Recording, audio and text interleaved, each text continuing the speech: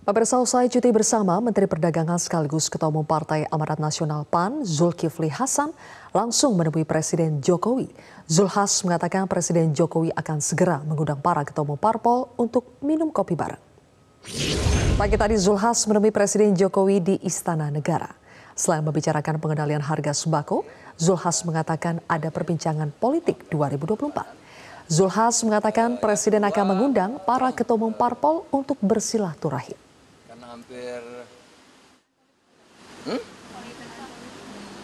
politik? Kira-kira yang pokok itu. Ya singgung-singgung sedikit nanya-nanya boleh lah. Ada ya uh, uh, Pak gimana Pak? Anu perkembangan politik sekarang? Ya selain anu kan selain Mendak kan saya juga ketua mempan gitu nah, nanti aja kita akan kumpul nah, mudah-mudahan nanti uh, cari waktu yang tepat Bapak akan mengundang ketua-ketua partai uh, untuk apa namanya silaturahim kira-kira gitu.